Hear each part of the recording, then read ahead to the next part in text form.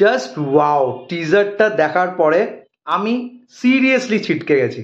Hello friends welcome to my channel সুপ্রকি বাণী এখন আমি তুফান ফিল্মের টিজার রিয়াকশন করতে চলে এসেছি, যেটা দু ঘণ্টা আগে বেরিয়ে গেছে চোরকির অফিসিয়াল ইউটিউব চ্যানেলে এই ফিল্মটার ডিরেক্টর হচ্ছে রাইহান রফি, এখানে কাস্টিংয়ে আছে মেগাস্টার সাকিব খান, এছাড়াও আছে চঞ্চল চৌধুরী এবং নায়িকার ভূমিকায় আছে আমাদের এপার বাংলা থেকে মিমি চক্রবর্তী এবং ওপার বাংলা থেকে নাবিলা।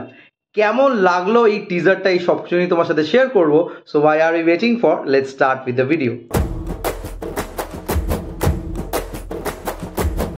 টিজারটা এক মিনিট কিছু সেকেন্ডের মতো বানিয়েছে এবং টিজারের মধ্যে নায়িকাদের কিন্তু কোনোভাবেই স্কোপ দেওয়া হয়নি আমাদের কাছে তুলে ধরার। তবে টিজারের মধ্যে মেগাস্টার শাকিব খান এবং চঞ্চল চৌধুরী যখন আসে just it's a last in the teaser টিজারটা শুরু হয় যে মেগাস্টার শাকিব খান বলছে যে তুফান আসতে চলেছে যদি তার মতো করে কেউ না চলে। এবং সে একটা গ্যাংস্টার পুরোপুরি বোঝা যাচ্ছে টিজারের মাধ্যম দিয়ে। সে বন্দুক গুলিবাজি করছে, তার অনেক লোকজন আছে তাদের সাথে মানে হই হুল্লোড় করছে, একটা বড় গান নিয়ে মারছে।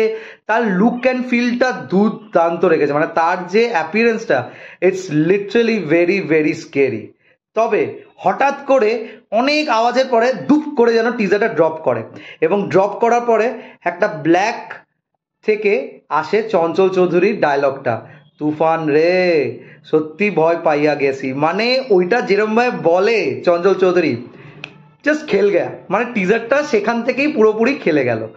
টিজারটা দুর্দান্তভাবে এডিট করেছে এবং যেই যেই সিনসগুলো টিজারের মধ্যে দেখানো হয়েছে, বোঝা যাচ্ছে যে এই ফিল্মটা কিছু হতে চলেছে। And I please back to S VF and Chorki যেন এটা এপার বাংলায় ঠিক টাইমে যেন রিলিজ করা হয়। ফিল্মটা রিলিজ করবে থিয়েটার্সে ঈদুল আদাতে আই মিন ঈদুল জোহা যেটা আমাদের জন্য সেভেন্টিন্থ অফ জুনের আশেপাশে।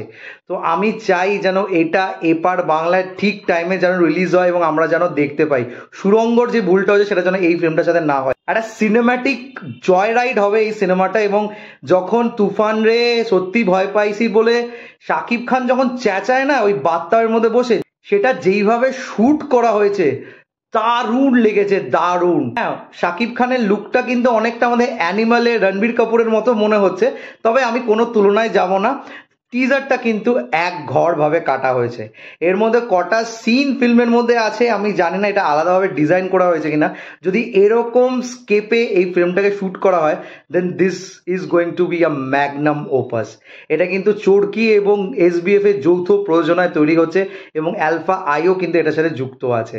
So I am just thoroughly entertained and thrilled with the teaser and I am very much looking forward to the trailer also তো তোমাদের কেমন লাগল প্লিজ কমেন্ট করে জানিও, আর আমার যদি রিয়াকশনটা ভালো লেগে থাকে don't forget to like share and subscribe my channel আমার সাথে জুড়ে থাকার জন্য।